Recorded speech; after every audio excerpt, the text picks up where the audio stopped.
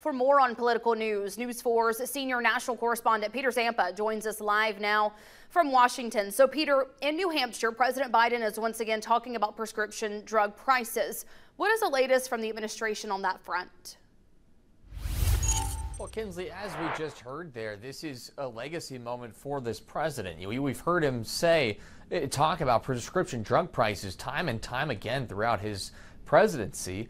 And so, with just a couple of months left, left, this is something you should expect from this president to talk about his perceived achievements, and none greater than this prescription drugs prices issue that has affected millions of people. This report coming out from his own government saying that 1.5 million people benefited from this to the tune of a billion dollars because of this price cap, cap at $3,500 uh, Uh, on, on out of pocket costs for people enrolled in Medicare Part D. And, and next year, that out of pocket cost is going to come down to $2,000. And they said that if that was in place this year, it would have benefited 4.6 million Americans in just the first half of 2024. So clearly a big deal for this president. And he, I, you know, you just said he's campaigning for Kamala Harris too, stopping by a, a campaign office. This is something he hopes rubs off on her campaign as well, with her by his side as all of these things happened. Two weeks until Election Day, with millions of Americans already voting in a number of states, the presidential candidates are still making last minute appeals to voters. So, Peter, what is on the agenda for the Harris and Trump campaigns today?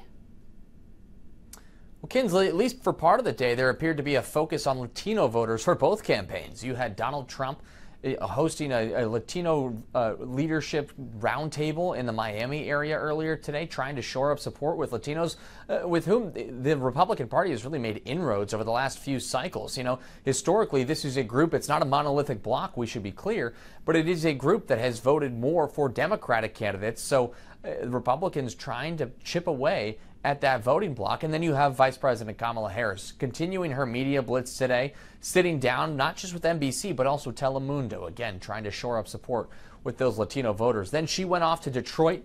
Donald Trump went up to New North Carolina. You've got J.D. Vance in Arizona, another crucial battleground state we can't say enough about.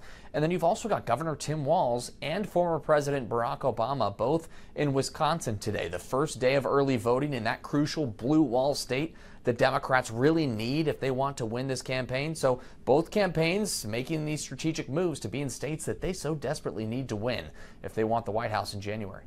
Peter Zampa, that's our time, but thanks for joining us on News 4 at 5.